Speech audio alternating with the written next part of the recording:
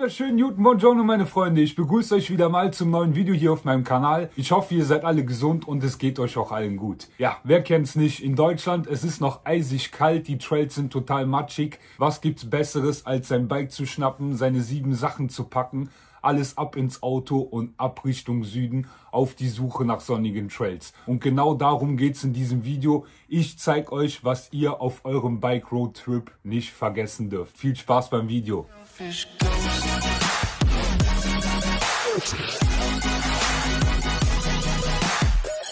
wer kennt's nicht? Ihr seid unterwegs im Bikeurlaub, auf einem mehrtägigen Bike-Trip, im Bikepark-Besuch, wie auch immer. Du stürzt, dein Bike ist kaputt, du hast dir was verbogen, irgendwas hat sich gelockert und du hast nicht das richtige Werkzeug oder die richtigen Ersatzteile dabei. Da kann der Bikeurlaub ganz schnell enden, wenn kein vernünftiger Bike-Shop in der Nähe ist. Und genau aus diesem Grund habe ich für mich persönlich eine Werkzeugkiste zusammengestellt, die ich auf solchen Trips immer mitnehme. Ich habe die wichtigsten Teile zusammengestellt. Über Kleinteile, Ersatzteile, Pflegeprodukte und Werkzeuge. Und was natürlich auch nicht fehlen darf, ist eine Pumpe und ein Montageständer. Ich habe alles zusammengestellt und zeige euch jetzt mal, was ich so mitnehme. Viel Spaß dabei.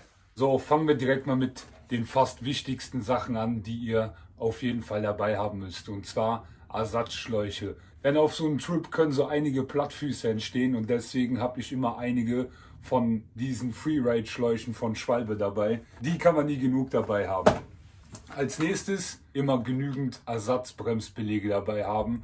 Denn wenn euch unterwegs die Bremse streikt, so wie bei mir in letzter Zeit, könnt ihr Bremsbelege wechseln. Ihr habt großen Verschleiß bei langen Downhills, deswegen immer genügend Bremsbelege dabei haben. Je nachdem, wo ihr seid, ist kein Bike Shop in der Nähe und da macht das schon mal Sinn, einiges an Kram selbst mitzuschleppen. So sieht es in meiner Kleinteile-Box aus hier. Also wir fangen mal hier vorne an. Ich habe hier immer ein paar Ersatzkettenschlösser dabei. Kettenschlösser können öfters mal kaputt gehen. Ich habe auch noch eins in meinem Rucksack für den Notfall, wenn ich unterwegs bin. Ein paar Ersatzbremsgriffe oder Bremshebel. Falls solch ein Bremshebel abbricht, habe ich hier immer was dabei. Dann habe ich hier einen Speichenschlüssel. Unten drin habe ich auch noch Ersatzspeichen, wenn mir eine Speiche reißt, das ersetzen kann. Als nächstes habe ich hier immer zwei Ersatzschaltaugen, weil wenn euch ein Schaltauge unterwegs kaputt geht, was schnell passiert, habe ich schon selbst zwei Stück an meinem Bike neu gemacht. Habe ich hier immer zwei Stück dabei. Je nachdem, wo ihr seid, gibt es keinen Bike-Shop, der das passende Schaltauge für euch da führt. Deswegen immer an Schaltaugen denken. Hier habe ich Kleinkram, zum Beispiel Ventilkappen. Hier habe ich Tubeless-Ventile drin. Alles mögliche an Kleinkram. Hier sind noch Nippel für die Speichen. Genügend Ersatznippel. Dann habe ich hier einmal Reifenabzieher.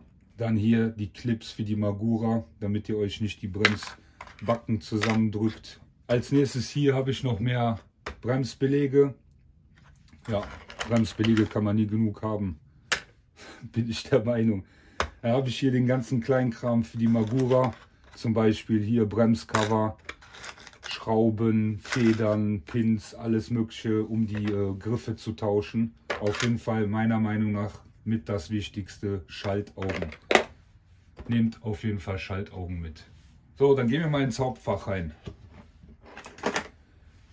Als nächstes habe ich hier natürlich ein bisschen Werkzeug, eine Spitzzange, einen kleinen Seitenschneider. Dann finde ich immer wichtig hier die passende Nuss für die Gabel, um die Token zu wechseln. Dann hier die spezielle Nuss fürs Kettenritzel. Immer wichtig, Kabelbinder. Kabelbinder helfen im Notfall aus jeder Lebenslage. Ihr könnt mit Kabelbindern im Notfall alles mögliche fixieren, fixen, was auch immer. Kabelbinder sind top. Ich habe immer ein paar im Rucksack und natürlich auch hier in meiner Kiste. Ein Pinsel, um irgendwas sauber zu machen. Da unten noch ein paar Q-Tips. Hier noch der Speedier, um den Mantel schnell abzuziehen vom Laufrad. So, als nächstes hier die Pflege- und Schmierprodukte. Da habe ich hier Kettenöl für nasse Bedingungen. Dann habe ich hier mein Kettenwachs fürs Trockene. Als nächstes hier Montagepaste. Dann hier Kugellagerfett, kann man für alles gebrauchen. Dann habe ich hier nochmal eine Tube mit Fett, hier so eine kleine, ja, Brillantfett und Montagepaste. Montagepaste auch immer sehr nützlich, um Lager oder sonstiges zu schmieren, wenn es knackst oder knirscht. So, weiter geht's zum nächsten Fach. Wie ihr sehen könnt, hier immer ganz wichtig, Dämpferpumpe, um das Fahrwerk auf die verschiedenen Trails einzustellen. Dann hier Drehmomentschlüsselsatz und auch immer ganz wichtig, einen vernünftigen Ratschensatz, ein Viertel Zoll mit allen möglichen Bits, Torx, Inbus und was auch immer. Also immer ganz wichtig, vernünftiges Werkzeug. Da unten drunter habe ich noch zwei Bögen Schleifpapier, um gegebenenfalls die äh, Bremsbeläge abzuschmögeln. So und jetzt hier das Hauptwerkzeug. Eine Halbzoll-Ratsche für die Nuss für die Federgabel und fürs Kettenritzel. Dann habe ich hier meinen Kurbelabzieher, falls ich die Kurbel irgendwie lösen muss, da dran muss.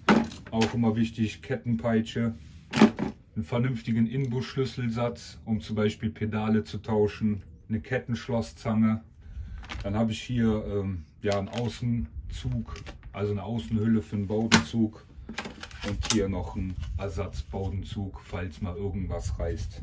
Was sehr wichtig ist, ist auch auf jeden Fall eine vernünftige Pumpe mitzunehmen. Hier eine große Standpumpe.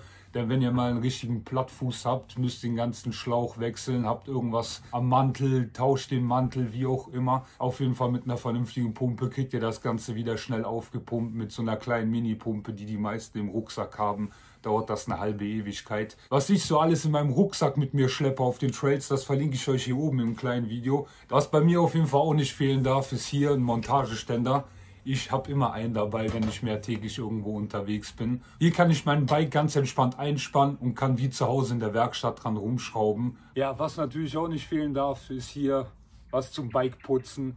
Irgendwie Schwamm, Handtücher und Reinigungsmittel. Abends das Bike einfach vom ganzen Dreck entfernen. So könnt ihr viel einfacher an eurem Bike rumschrauben und am nächsten Tag ist wieder alles sauber für die nächste Trailrunde. Ihr könnt es natürlich auch übertreiben, könnt noch einen Ersatzlaufradsatz mitnehmen, neue Mäntel, was auch immer. Das ist euch allen selbst überlassen. Aber ich denke mal, das waren die Basics, die auf jeden Fall dabei sein sollten oder die jedenfalls bei mir dabei sind. Meine Freunde, ihr kennt das Ganze. Ich wünsche euch noch einen wunderschönen Sonntag. Bleibt alle gesund und wir sehen uns hoffentlich nächste Woche Sonntag wieder mit einem neuen Video hier auf dem Kanal. Bis dahin, haut rein, bis bald im Wald. Ciao.